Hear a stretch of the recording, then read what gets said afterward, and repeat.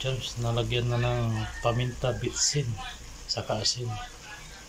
Mamaya ito huli yung sinigang. Ilagay muna ng pitsay mga ka-charms. Mga 40 minutes antay. ah, pwede na. Ayos na loto na mga ka-charms.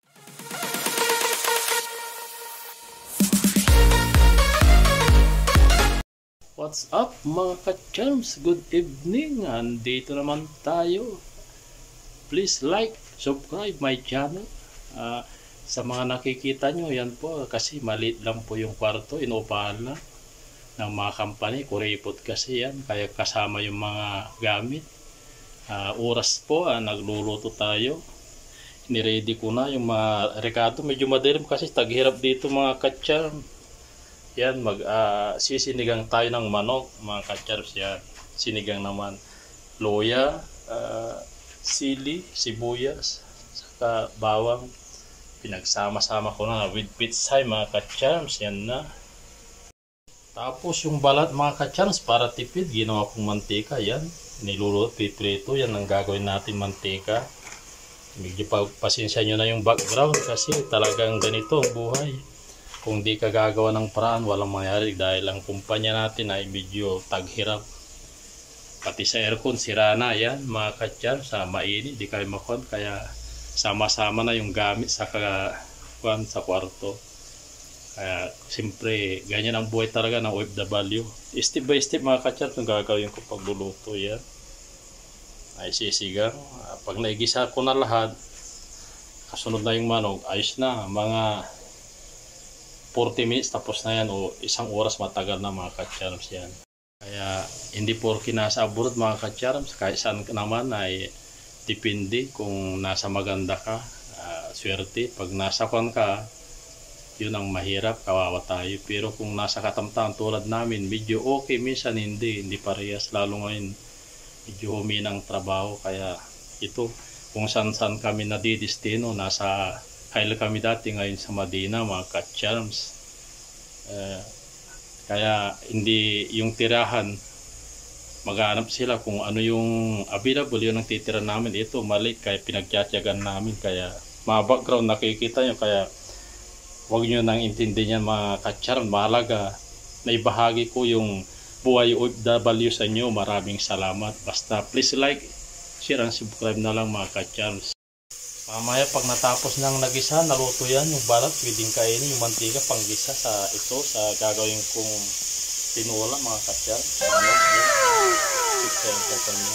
Mamaya, bit ko kayo pag natapos na, mga katsyan. So, dito muna. Kasi gigisa ko dahil nakahawak lang ako, ba masunog, yung niluluto ko.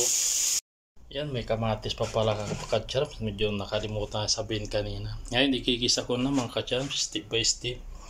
Punain natin yung luya, mga ka-charms. Mamaya, kasunod yung bawang sili, sibuyas, saka kamatis. Yun na mga ka-charms. Yan mga ka-charms. Tapos na yung mga recipe na ingredients. Isunod natin yung manok para isa. Pagkatapos ng mga 30 minutes o 40, pwede na isunod yung pitsay. Mamaya okay na, ulam na. At kainan na mamaya mga kasya. Ganyan kabilis lang.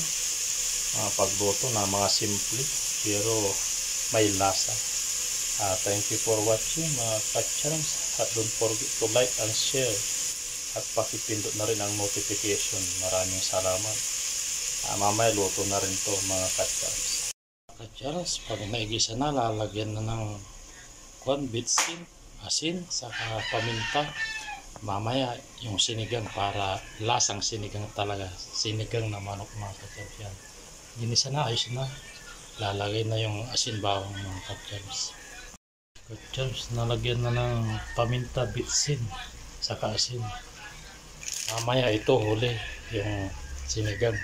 Ilagay muna ng pitsay mga katsams mga 40 minutes antay uh, pwede na. Ayos na loto na mga katsams natin ng tubig na mga ka-charms konti lang yan walang ilaw kaya medyo madilim mga ka-charms yung tama lang yung tubig para makakon yung nasa nyo kung mag ilan ang gusto nyong tubig kung marami o. Pero depende sa inyo kung mag, ilan ang gusto nyo na ilalagay na suka ng tubig. Yan mga ka-charbs, nalagay na natin yung pitsay saka mix sinigang.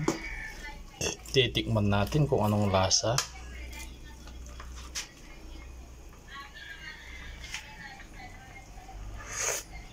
Wow! Talagang sinigang mga kacham. Sarap. Tapos na mga 5 minutes na lang kacham. So okay na ito. Na, pwede na kumain. Ayos na. Yan. Yan ang kinalabasan mga kacham. Kainan na tayo. Yan. Sinigang na manok with pizza. Kainan na mga kacham. So yan.